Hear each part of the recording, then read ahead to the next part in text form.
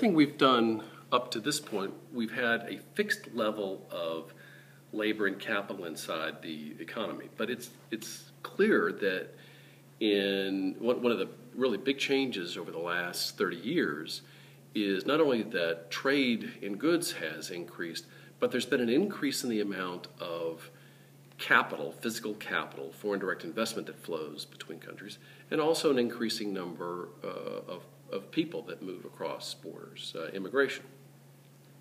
So I'd like to look at the, some of the basic ex expectations within a, a neoclassical Heckscher-Ohlin framework when there is a, an increase in the capital stock.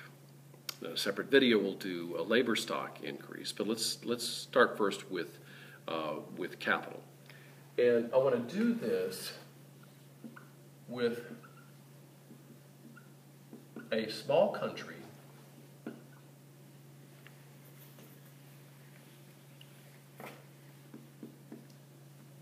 that is labor abundant. So again, this is the Heckscher-Ohlin framework where we have standard expectations about Y being the labor-intensive good, X the capital uh, intensive uh, good. This country is capital abundant, but it's small. So it's going to take the world uh, prices as, as given. And let's assume as well, well, let me, let me, I'll get back to that in a second.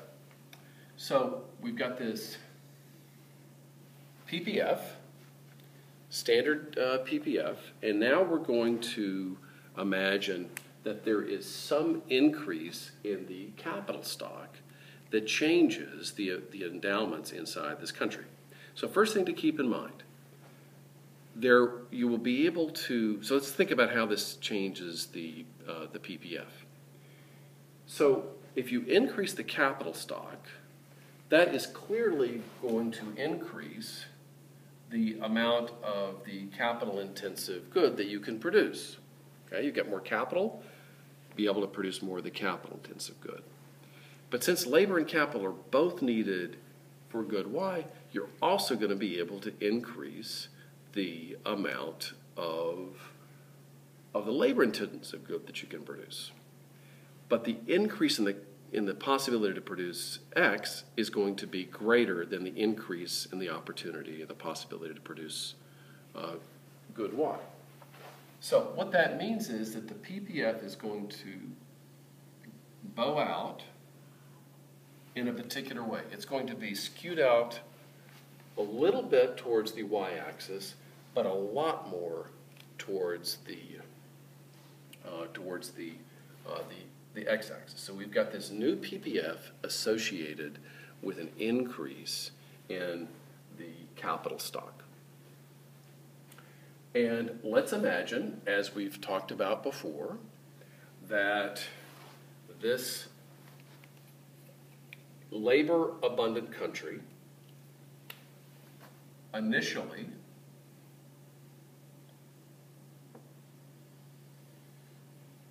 produces at point A and consumes at point B.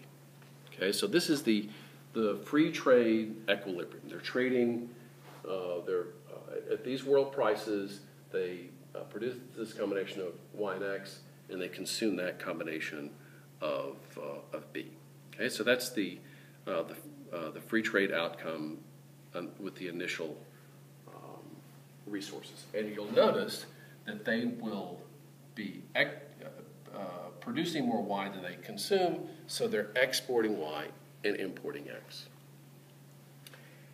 And now let's imagine that this capital stock increase has occurred and we are going to change the amount of y and x that are produced given this change in the capital stock.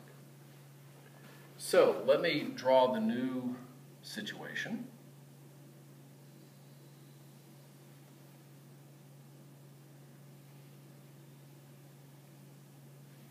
where we've got the green line is now tangent to the new PPF. So this is the new production point.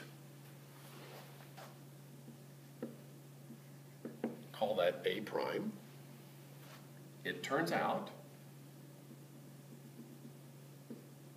that Y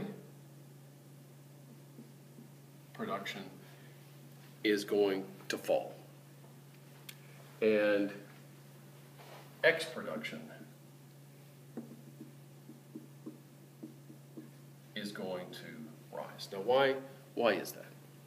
What they're doing at the same, at the same prices, uh, and it's given by the, uh, these world prices you know, with the, the slope of the green line, you're going to have a tendency to change the combination of the two goods. So let's say that they, they have the same price and suddenly they get this resource that is particularly attractive uh, in the production of X, the capital intensive good. So at the same prices for the goods, and they've got more of the, of the capital stock in, in the economy, essentially the, the cost of producing this capital intensive good has gone down because they now have more of the resources used in the, in the production of, um, of good X. So they'll expand the production of X, but they can only do so by drawing at least some labor out of the labor intensive sector.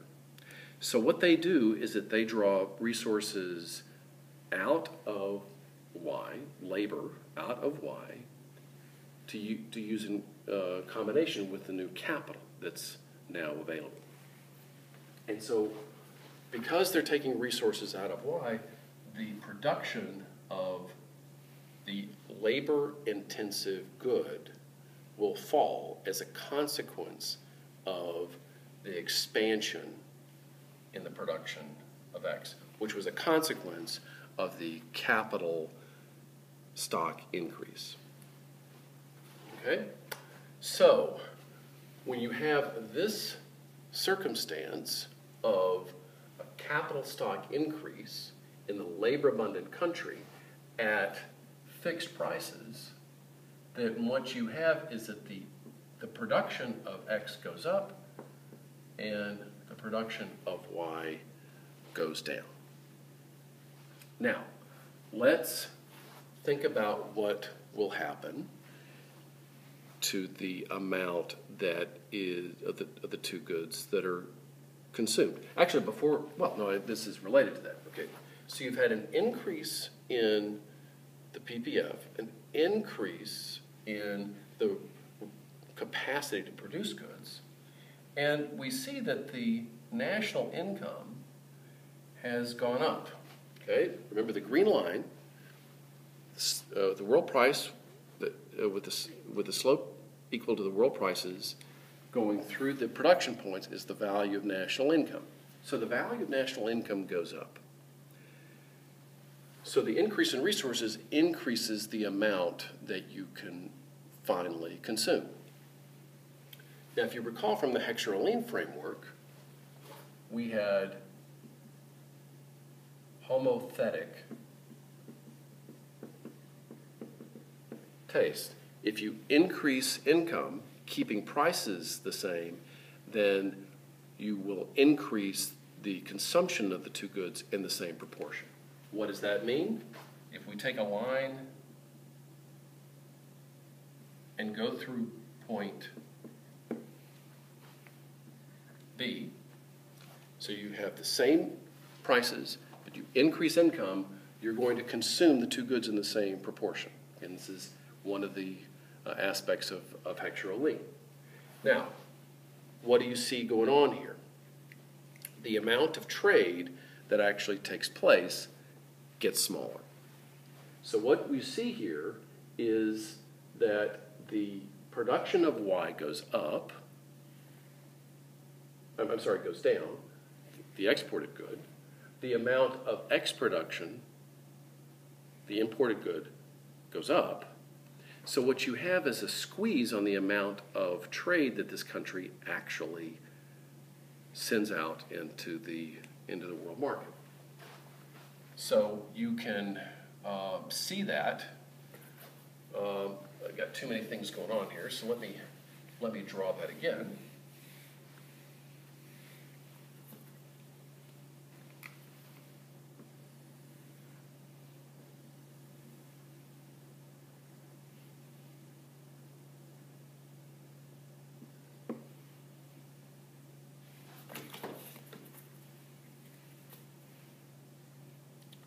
Okay, so that's point A and point B.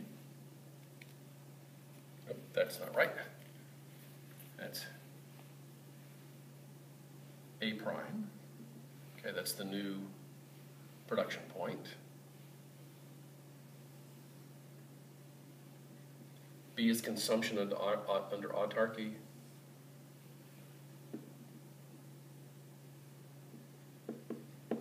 B prime is the new uh, consumption under, under, I'm sorry, B was the product, uh, the consumption under, uh, before the capital stock increase, B prime was the consumption after the capital stock increase.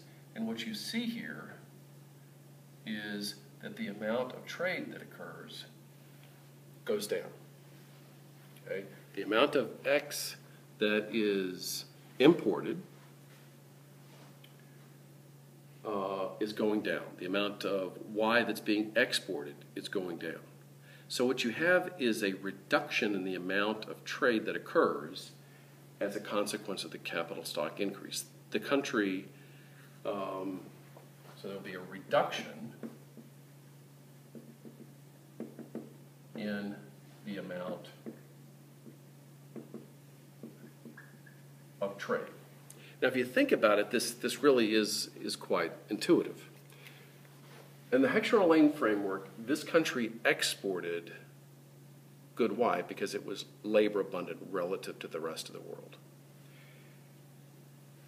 As there's an increase in the capital stock, what you have is that the country is becoming more like the rest of the world.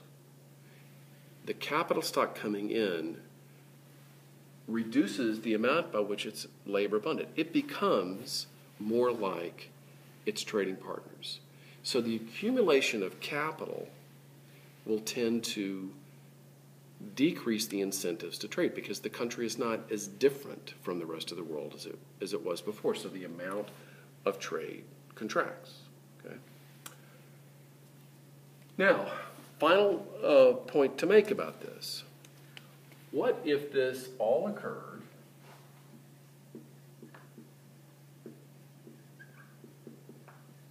for a, a large country? Okay, we've done this with fixed world prices the expansion of, uh, of, uh, the, of the capital stock in, in this country reduces trade, but it doesn't affect the world.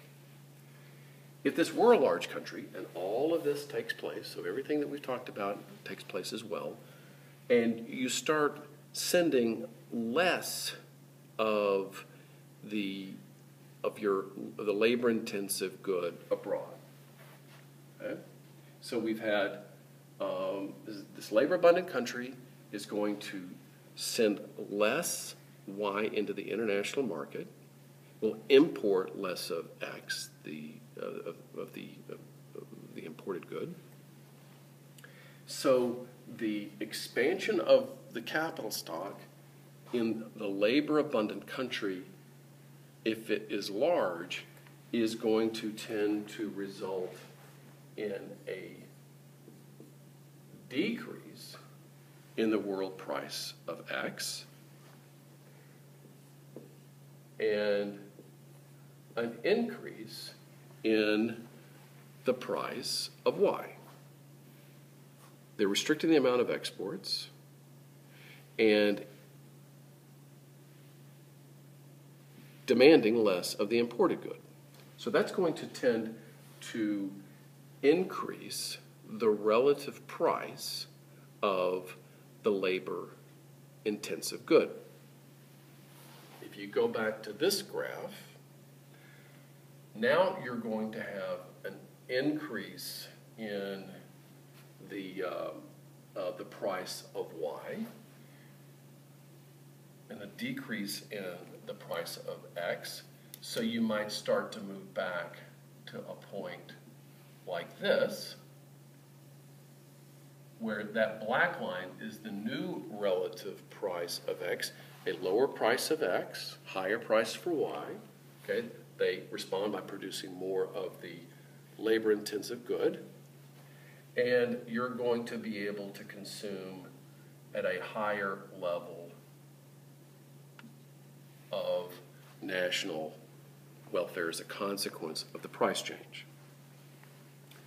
So, to sum all of this up, and I know this is a, you know, a particularly complicated uh, graph, if you have a change in the endowment inside a country in this Heckscher-Ohlin framework, that is going to change production patterns. If it's a labor abundant country, increasing the, the capital stock, it reduces the amount of trade that occurs because it produces more of the imported good, so it produces it at home. It produces less of its export good. So trade contracts as the country becomes more like the rest of the world. If it's a large country, that will then tend to change the world relative price of the good. You'll tend to have an, in, an improvement in your terms of trade. This labor abundant country will see an increase in the price of the labor intensive good if there's been an increase in the capital stock. And the um, and and we'll get a a higher level of national income and a higher uh, level of national welfare associated with that that terms of trade improvement. Okay, so another video will do the labor stock increase in the labor abundant country.